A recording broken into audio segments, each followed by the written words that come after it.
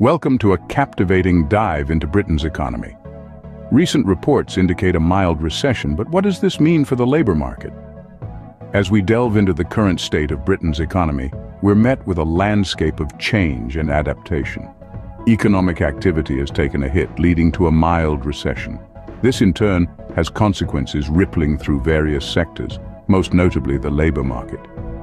Unemployment has nudged upward though. Interestingly, it remains under 4%.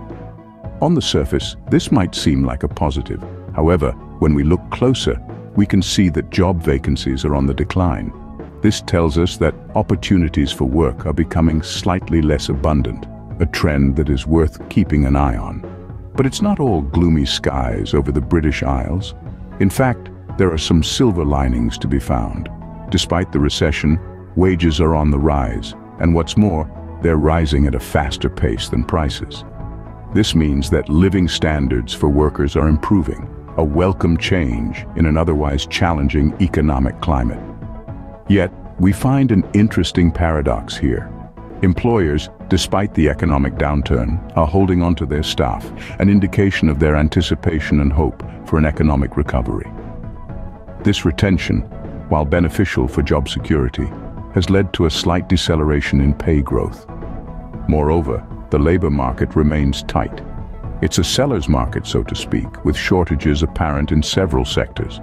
This tightness, while it can be a challenge, also presents opportunities for those seeking employment in these high-demand areas.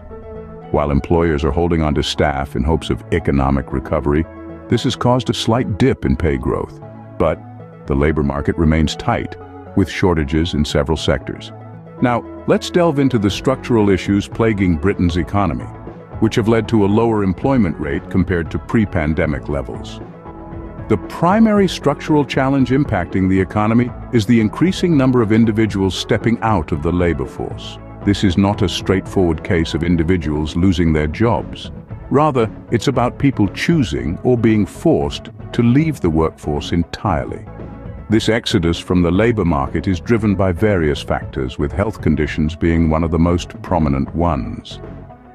In the wake of the pandemic, more and more people have found themselves dealing with long-term health issues.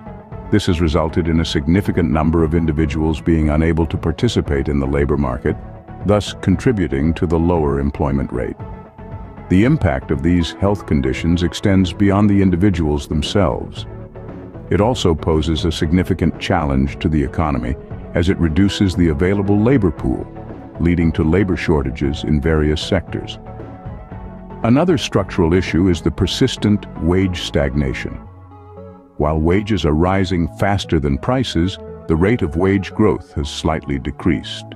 This is due to employers retaining staff in anticipation of economic recovery. It's a sensible strategy in the short term, but in the long run it may lead to a decrease in workers' real income, making it harder for them to meet their basic needs.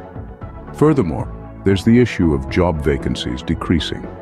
This suggests that businesses are hesitant to expand their workforce, possibly due to uncertainty over the economic outlook. This hesitance to hire also contributes to the lower employment rate and adds to the challenges faced by those looking for work. Indeed, these structural issues persist, posing significant challenges for Britain's economy. The labor market remains tight, even as the number of people out of the labor force increases. The ripple effect of these issues is felt throughout the economy, affecting everything from consumer spending to business investment. These structural issues persist, posing significant challenges for Britain's economy. But the question remains, how can these be addressed? As we examine the road ahead for Britain's economy, it's clear that solutions are needed to address these ongoing challenges. The current economic landscape is undeniably complex, with structural issues and labor market shortages posing significant hurdles. However, potential solutions are on the horizon. Government policies could play a crucial role in reshaping the labor market. By investing in education and training programs, we could equip the workforce with the skills needed to fill the gaps in various sectors. Additionally, incentives for companies that provide professional development opportunities could stimulate job growth and retention. Private sector initiatives also hold considerable promise. Businesses could proactively address labor market shortages by creating more flexible working conditions, allowing those previously unable to participate in the workforce to do so. This could include remote working options or flexible hours, which could particularly benefit individuals with health conditions. Furthermore, innovative partnerships between the public and private sectors could be key. Together, they could develop targeted solutions to address specific structural issues. For instance, joint initiatives could focus on upskilling workers in industries with high job vacancies or providing support for those out of the labor force. The road ahead also calls for a shift in mindset.